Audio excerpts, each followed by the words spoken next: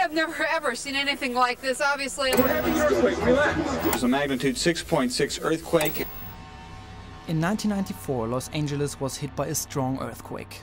It caused chaos on the streets and a blackout. As you, as you look out your window, it's probably pitch dark right now. During the blackout, many people called observatories and even 911. Not because the earth was shaking, but because they saw a giant silvery cloud in the sky. That cloud was, in fact, the Milky Way, countless stars they had never seen before. You maybe haven't heard much about it yet, but light pollution doesn't merely conceal stars. It seriously affects our health and the environment.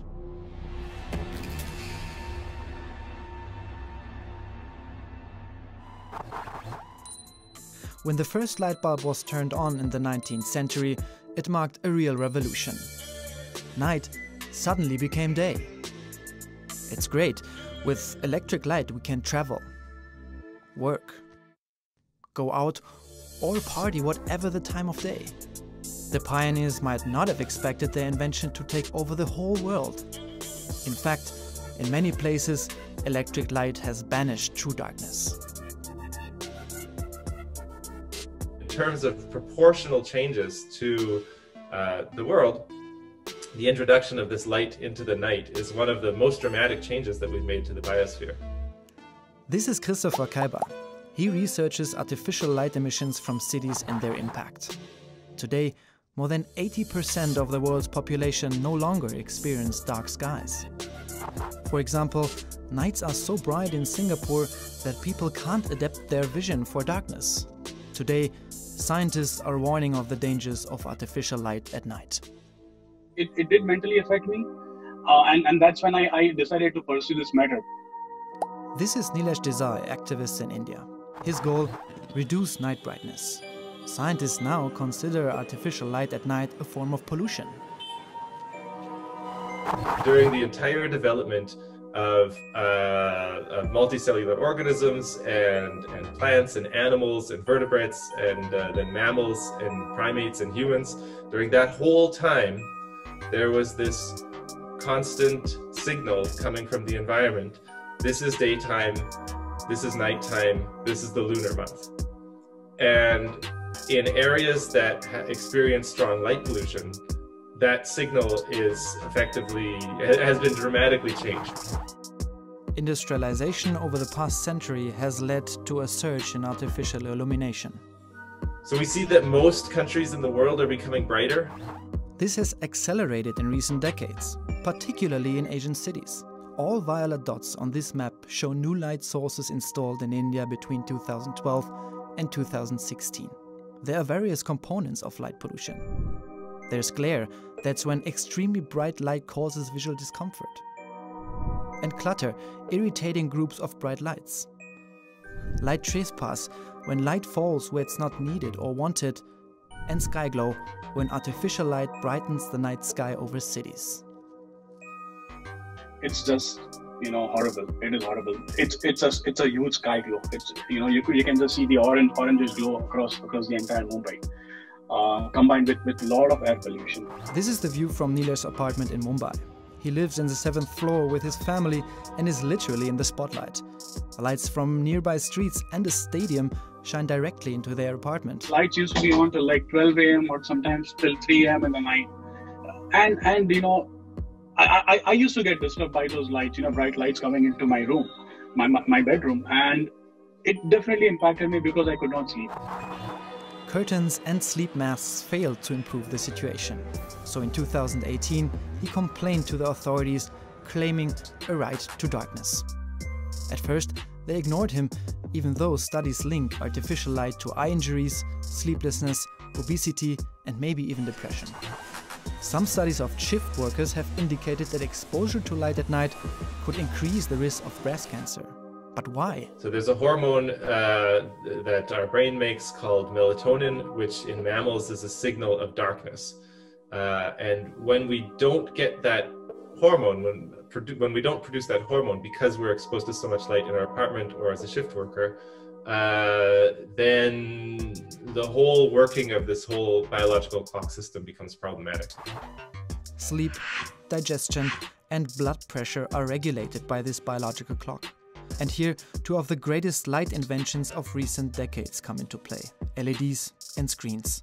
They are very bright and very efficient, and that comes at a price. We may not be able to do anything about bright lights outside, but the lights we have at home are often literally in our hands. The problem is not only brightness, but also color. Blue light from phone displays, screens, and LEDs is similar to daylight.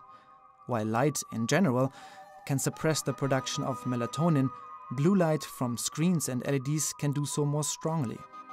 That's why experts at Harvard recommend not using bright screens or LED lights for two to three hours before going to bed, or switching to dimmer and warmer shades of light. Light at night doesn't only threaten our health. There is a tremendous change because um, the increase of brightness at nighttime is new to evolution. This is Sibylle Schröer from the Leibniz Institute of Freshwater Ecology and Inland Fisheries in Berlin.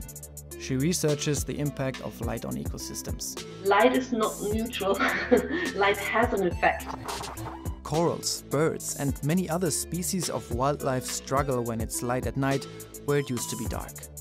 Freshly hatched turtles should make their way into the sea, but lights near the shore can mislead them. They head inland and die. Artificial light at night contributes to the decline in insect populations.